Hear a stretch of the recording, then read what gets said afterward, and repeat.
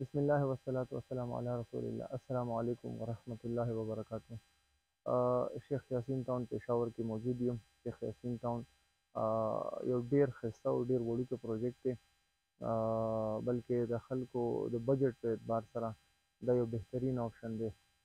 موږ سره اکثر خلک تپوس کوي موږ 30 40 لاک 50 لاک رینج کې داسې پلاټ پکار دي چې موږ په کور جوړ کړو نو دا د لوکیشن په اعتبار سره به زه لومړی ووایم چې تاسو ته لږه اندازه وشي چې دلته موږ سره آس پاس کې ریټونه څه چلیږي. شاته چې کوم تاسو ته دیوال ښکاري دا د ډي ایچ ای پېښور دیوال دی او دا بي بلاک دی بلکې مخامخ پاکستان چوک دی بلکل دا دیوال بلکې دا دیوال د ډي ایچ ای پېښور دی ټیک شو. ډي ايچ اي پشاور که تاسو پانچ مرلي پلاټ هلته کې اخلي نو نن نبدې پچانوي لاک روپۍ هلته پرائس دی ټيک شو او دومره بجټ ستاسو نشته نو تاسو به مجبوراينه شيخ ياسين ټاون ته راځئ ځکه چې دلته تاسو تيس چاليس پينتاليس لاک کې تاسو ته ملاويږي بلکې دلته چې ستاسو څومره ضروريات دي کنه نو ګوره ګيس بجلي جوماتونه پارکونه دا زموږ ضرورت دی کمرشل ايريا مارکيټونه چی دا ټول سهولیات پکی اویلیبل وی دا دلته میلاویږی. مخامخ مونږ سره دی ته اپوزیټ سایډ ته ریګی موډل ټاون دی پی ډی ای پروجیکټ دی بهترین پروجیکټ دی لوی ریزیډنشل په اعتبار سره یو ډیر لوی پروجیکټ دی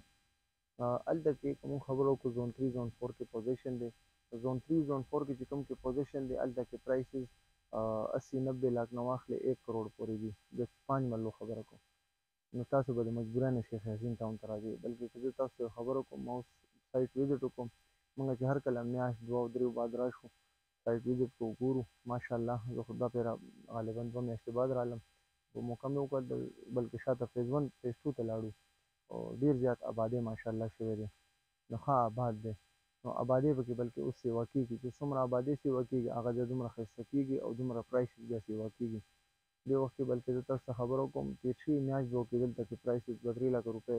ريټونه لږ ښه شوي دي. که کوم پلاټ په تيس لاکه و هغه به بتيس تينتيس لاکه وي. کوم پلاټ چې په چاليس لاکه و اوس په بياليس ترياليس ګي چې کوم په چواليس پينتاليس ګي هغه اوس چياليس پينتاليس ته لاړل او بلکې دا يو پيک پرايسز تاسو ته زه ويلی شم.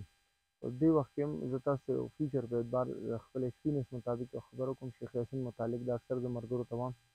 چې شیخ یاسین ټاون کې چې کوم دې وخت کې پرایسز دي او آس پاس پړوس کې چې موږ کوم پرایسز ګورو نو راروان دوه درې کالو کې د دې پرایسز ډبل کېدی شي چې کوم څیز تا ته نن په تیس چالیس لاک میلاویږي دا به موږ ته په ساټ ستر اسي لاک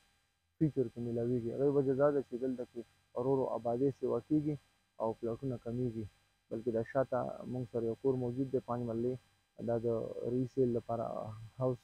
دا سیل دا اویلیبل دی دا موږ خرڅوو پانچ مرلې کور دی اته کمرې دي اته واش رومونه دي ډبل ګراج دی بهترین کور دی انشاالله دې ویډیو به هم موږ تاسو سره شیر کوو عنقریب یا کیدای شي ها نو شیخ نسیم ټاون ټول سهولیات دلته اویلیبل دي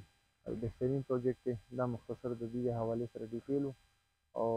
انشاالله مزید تاسو انټرسټډ یې دلته کې پانچ مرلې پلاټس دلته تاسو ته ما پرایسز وویل دلته تیس پینتیس لاک نه والې چالیس پینتالیس لاک پورې تاسو ته پانچ مرلې پلاټس ملاویږي